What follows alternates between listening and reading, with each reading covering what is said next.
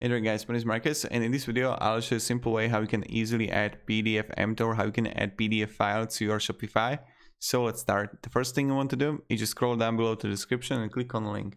When you will do it, you'll get on this site called Elfsight. Elfsight is an amazing company with a lot of widgets and one of the widgets they make is a PDF Embed. So what you want to do is just simply click here, sign up for free and you want to sign with the Gmail, Facebook or normal mail. It's really up to you. And when you got it, click login right here in applications, uh, you just want to simply write in search PDF. And you're going to see here PDF Embed, right? So let's create a widget. And now, like what kind of file you want like this, or like menu, or product menus, or research, really up to you which one to choose. I'm going to choose this one here. So let's continue with template. First, I have a file here, so I can do just simply upload upload the file. So I'm going to add some and find some PDF that I have here. Let me just find something. You just add there whatever PDF you got, right? And I really can't find any.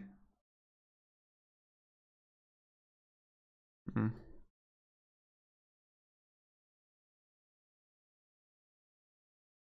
So let's just leave it like this. I'm going to leave the sample file from Elfsight, but just upload whatever PDF you got. Let's click save. When you're gonna do it, you need to choose a plan. If you're starting out with your website, go with the light version. But if you're gonna have 5,000, 50 or 5 million views, go with the basic pro or enterprise. Let's copy the code here. And now it's really simple. You just add a section, custom content, click select, then just like remove these things like image and text add custom HTML and paste the code here. And then center it to the middle. And this is pretty much it how you do it. So thank you very much everybody for watching.